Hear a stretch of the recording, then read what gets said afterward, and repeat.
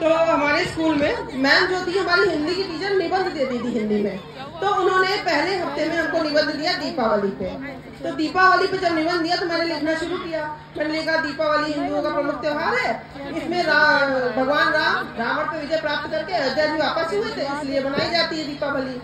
और इस दिन हम नए कपड़े पहनते हैं अच्छा खाना खाते हैं पटाखे जलाते हैं। पर कुछ लोग इस त्योहार पर जुआ खेलते हैं। जुआ नहीं खेलना चाहिए, जुआ खेलना गलत बात है। अब देखिए कितना अच्छा निबंध बन गया ना, हमें कितना अच्छा मैसेज मिला कि हमें क्या करना चाहिए और क्या नहीं करना चाहिए। तो मुझे पूरे टेन मार्क्स मिले। अगले हफ़्ते मैम आई, उन्होंने टॉपिक दिया, होली। मैंने फिर लिखना शुरू किया। मैंने लिखा, होली हिंदुओं का प्रमुख त्योहार है। इस दिन धन ने अधर्म पर विजय प्राप्त करी थी और इस दिन हम पुराने कपड़े पहनते हैं। प्लीज़ मुझे सपोर्ट करिएगा आप लोग। इस दिन हम लोग और गुजिया खाते हैं। पैसे पर पैसे ले लो पैसे। कुछ लोग। इस दिन प- पै- अरे, Please, please, आप बोलिए, बोलिए, इस दिन। जुआ खेलते हैं। जुआ खेलना गलत है हमें जुआ नहीं खेलना चाहिए।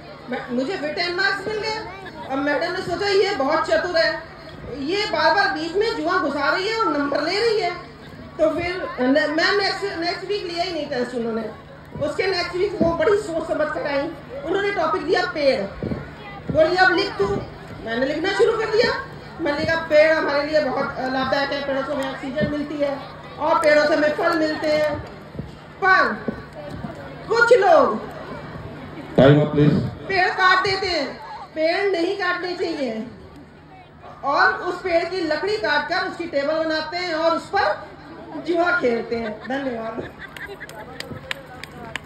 नीलू शर्मा जी